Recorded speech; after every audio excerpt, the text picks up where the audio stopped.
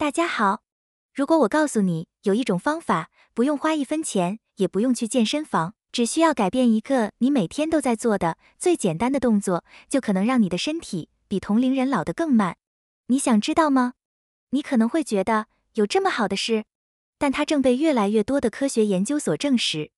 最近，一篇发表在公共科学图书馆综合期刊上的研究就发现，对于中老年人来说，仅仅是将走路的速度从悠闲散步提升到快走的程度，他们的身体机能就出现了临床上可见的显著改善。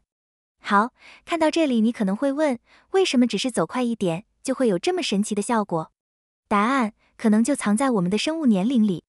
另一项研究指出，走路速度其实是我们身体内部健康状态的一个极其灵敏的指标，它与我们的认知功能、心肺耐力，甚至大脑的结构都息息相关。当我们快走时，我们不仅仅是在移动身体，我们更是在给心血管系统一个微锻炼，促进血液循环，提升大脑的供氧量，并向全身的细胞发出一个充满活力的积极信号。那么，到底要走多快才算是有效的快走呢？研究给出了一个非常简单的参考指标，大约每分钟一百步。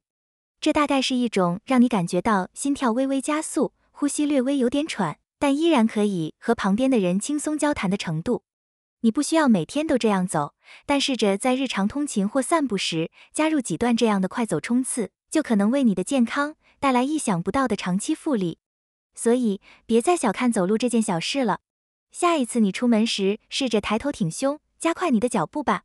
你迈出的每一步，可能都是在为你的年轻多储蓄一秒。我是你的健康心知领读人，逆龄研究所。关注我，让我们一起用最小的改变。创造最大的健康价值。